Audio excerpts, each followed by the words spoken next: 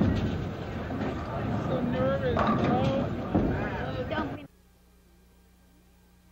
Well, there's no more importance. There's no more pressure as far as I'm concerned. It's uh, it's just another tournament. Uh, the lanes are down, out there, and I've got to find a way to conquer them, and that's what I'm going to be trying to do.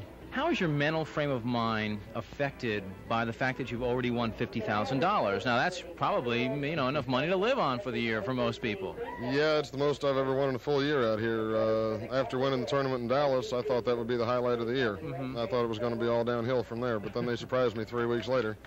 And uh, it's just, uh, it really hasn't sunk in yet, I don't, I don't think. Uh, the, the money uh, has gone to my sponsors, not in my pocket, so I hadn't gone out and bought any homes or cars or anything. Mm-hmm. But uh, it's, it sure is a nice feeling, I'll tell you that.